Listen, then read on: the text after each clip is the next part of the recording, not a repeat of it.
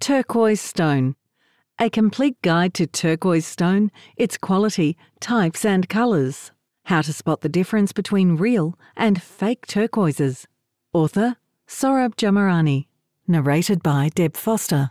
This book is provided by Amitis Art at www.amitisart.net.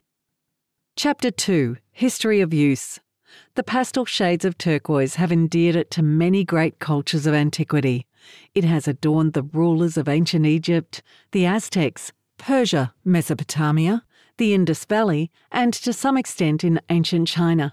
Despite being one of the oldest gems, probably first introduced to Europe through Turkey with other Silk Road novelties, turquoise did not become important as an ornamental stone in the West until the 14th century following a decline in the Roman Catholic Church's influence, which allowed the use of turquoise in secular jewellery. It was apparently unknown in India until the 16th century and has been only known in Japan since the 18th century.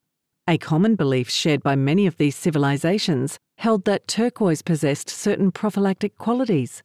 It was thought to change colour with the wearer's health and protect him or her from untoward forces. The Aztecs, the Aztecs inlaid turquoise together with gold, quartz, malachite, jet, jade, coral, and shells into provocative and presumably ceremonial mosaic objects such as masks, some with a human skull as their base, knives, and shields. Natural resins, bitumen, and wax were used to bond the turquoise to the object's base material. This was usually wood, but bone and shell were also used. Native Americans the Mask of Xiuhtecuhtli. Like the Aztecs, the Pueblo, Navajo, and Apache tribes prized turquoise for its amuletic use. Among these peoples, turquoise was used in mosaic inlay, in sculptural works, and was fashioned into toroidal beads and freeform pendants. The ancestral Puebloans, Anasazi of the Chaco Canyon and surrounding region, are believed to have prospered greatly from their production and trading of turquoise objects. The distinctive silver jewellery produced by Navajo and other southwestern Native American tribes today is a rather modern development, thought to date from around 1880 as a result of European influence. Persia, Iran, Turquoise has been Persia's national gemstone for millennia, and it is known as Firuzeh, which means victory in Persian. Turquoise, or Persian blue, was widely used for everything from covering palace domes to decorating objects. The Persian style and use of turquoise was later brought to India following the establishment of the Mughal Empire there with its influence seen in high purity gold jewellery along with ruby and diamond, and in such buildings as the Taj Mahal. Persian turquoise was often engraved with devotional words in Arabic script, which was then inlaid with gold. Egypt. The Egyptian use of turquoise dates back to the First Dynasty, and possibly earlier, However, the most well known pieces containing the gem are those discovered in Tutankhamun's tomb, most notably the pharaoh's iconic burial mask, which was liberally inlaid with gemstones. Turquoise was also used in the design of rings and pectoral pendants. Set in gold, the gem was fashioned into beads, used as an inlay and often carved in scarab motif, accompanied by carnelian, lapis lazuli, and in later pieces, coloured glass. In ancient Egyptian, the scarab beetle came to represent the eternal cycle of life and has been used in art, jewellery, and carvings.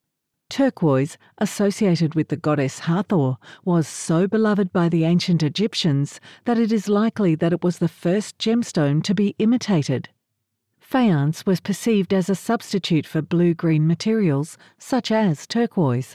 Faience is earthenware, decorated with opaque coloured glazes. France conducted archaeological excavations of Egypt from the mid 19th century through the early 20th. These excavations, including that of Tutankhamun's tomb, created great public interest in the Western world, subsequently influencing jewellery and architecture.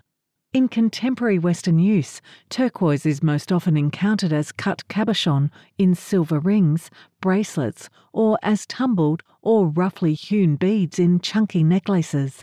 Lesser material may have been carved into fetishes, such as those crafted by Zuni.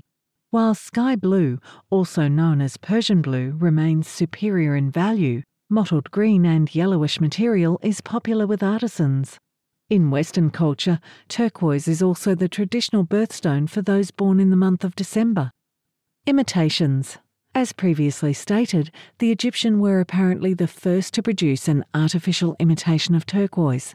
In the glazed earthenware product known as faience, later glass and enamel were also used, and in modern times, more sophisticated ceramics, porcelain, plastics, and various assembled pressed, bonded, and sintered products composed of various copper and aluminium compounds have been developed.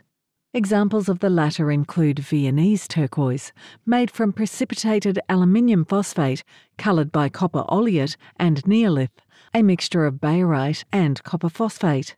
These products differ markedly from natural turquoise in both physical and chemical properties. The most common imitation of turquoise encountered today is dyed howlite and magnesite, both white in their natural states, and the former also having natural and convincing black veining similar to that of turquoise. Dyed chalcedony, jasper, and marble are less common and much less convincing. Other natural materials occasionally confused with or used in lieu of turquoise include variscite, faustite, chrysocolla, especially when impregnating quartz, lazulite, smithsonite, hemimorphite, wardite, and a fossil bone or tooth called odontolite, or bone turquoise, coloured blue naturally by the mineral vivianite. While rarely encountered today, odontolite was once mined in large quantities, specifically for its use as a substitute for turquoise in the south of France. These fakes are detected by gemologists using a variety of tests, relying primarily on non destructive, close examination of surface structure under magnification. Natural turquoise usually has flecks and spots on its surface, while manufactured imitations are uniform dark blue colour with a granular or sugary texture. Glass and plastic will have a much greater translucency, with bubbles or flow lines often visible just beneath the surface.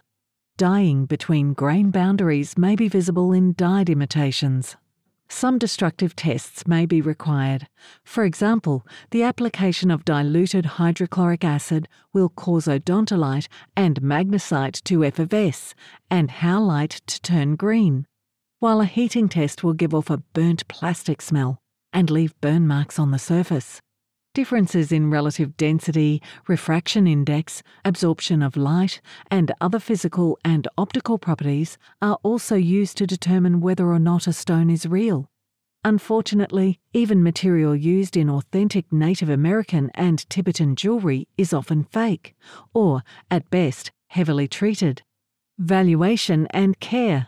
Richness of colour is the primary determiner of value in turquoise. Generally speaking, the most prized turquoise colour is an even, intense, medium turquoise blue, often referred to as Persian blue. Value decreases with the increase of green hue, lightening, lightness of colour, and mottling. In Tibet, however, a greener blue is said to be preferred. Natural turquoise in even dark blue, Persian blue with no matrix, can also be found, but it is extremely rare and expensive. Bone turquoise, imitation turquoise from fossil bones. GIA, Gemological Institute of America.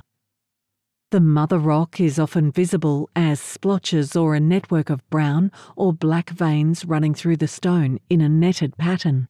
This veining may add value to the stone if the result is complementary, but such a result is uncommon. However, if this occurs, the material is referred to as a spiderweb matrix. It is most valued in the southwest United States and the Far East, but is not highly appreciated in the Middle East, where unblemished and vein free material is ideal, regardless of how complementary the veining may be. Uniformity of colour is desired, and in finished pieces, the quality of artisanship is also a factor. This includes the quality of the polish and the symmetry of the stone. Calibrated stones may also be more sought after. Like other opaque gems, turquoise is commonly sold at a price based on its physical size in millimetres rather than weight. Calibrated stones are stones that adhere to standard jewellery measurements and cuts. Turquoise is treated in a variety of ways, some more permanent and radical than others. There is disagreement about whether some of these treatments should be accepted, but one can be more or less forgiven universally. This is the light waxing applied to most turquoise stones to improve their colour and lustre. If the material is of high quality to begin with, very little of the wax is absorbed, and the turquoise, therefore, does not rely on this impermanent treatment for its beauty. All other factors being equal, untreated turquoise will always command a higher price. Bonded and reconstituted turquoise is worth significantly less. Turquoise, as a phosphate mineral, is inherently fragile and sensitive to solvents, perfume, and other cosmetics, as well as skin oils and most commercial jewellery cleaning fluids. These chemicals will degrade at the finish and may change the colour of turquoise gemstones. Prolonged direct sunlight exposure can also discolour or dehydrate turquoise, so they should not be worn to the beach. Cosmetics such as sunscreen and hairspray should be applied before, not after wearing turquoise jewellery. To avoid residue build-up, turquoise should be gently cleaned with a soft cloth after use and stored in its own box to avoid scratching by harder gems or objects. How is turquoise formed? A hydrated phosphate of copper and aluminum. The turquoise we wear today is believed to have formed nearly 30 million years ago. The process happened in one of two ways over many centuries water trickling through veins or cracks in a host rock, gradually leaving behind a turquoise deposit, or nuggets of turquoise forming in clay filled openings within the rock. A matrix of veins or patterns can sometimes be seen on the surface of turquoise, which can be grey or gold in colour. If the matrix is thin and evenly spaced, it is commonly referred to as spiderweb. Spiderweb matrix in turquoise is becoming more collectible in the United States as people prefer it. In some other cultures, however, any type of matrix has the opposite effect, decreasing its value. What gives turquoise its unique colour? Although we are most familiar with the colour sky blue, turquoise comes in a variety of shades, ranging from pale blue and medium blue to bright green and yellow green.